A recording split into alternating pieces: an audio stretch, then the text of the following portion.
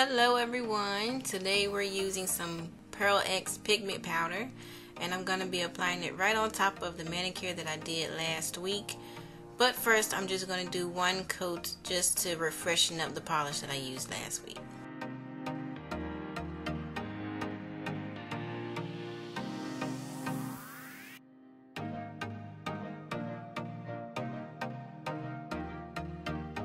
So this is the powder I'm going to use. I got it from Hobby Lobby for $5 and it's in the color Sapphire Blue.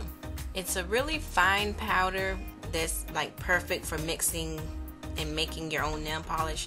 So I'm just going to be mixing it with uh, Sally Hansen clear polish. You most definitely could mix the powder in the polish bottle with the clear mix the powder in the clear polish bottle but I just didn't really want to do that because that would probably be a great video in itself.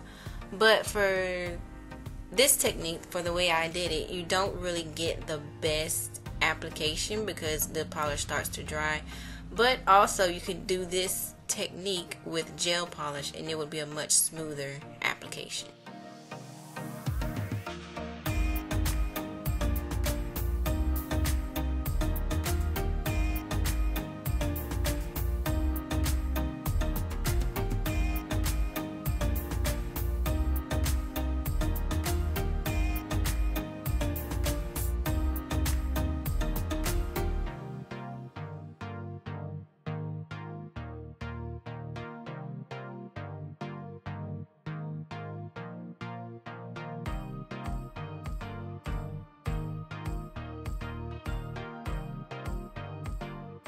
After that, I'm using a striper brush to apply some white on the outside of the powder. The white that I'm using is OPI Alpine Snow and the striping brush that I'm using is just an old, you know, striping brush polish that I just emptied and cleaned out for moments like this where I need a striping brush.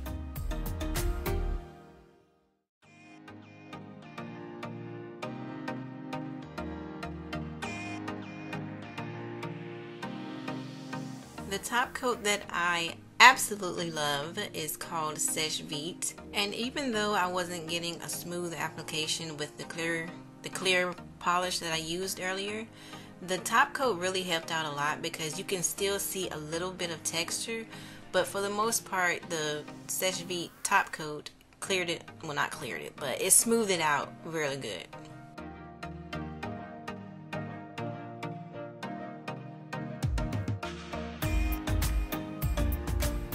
So yeah, that's it. Another short and simple, but I wanted to do a voiceover because I know y'all prefer to prefer to hear my voice in my videos. So I really hope you enjoyed and I'll see you next time.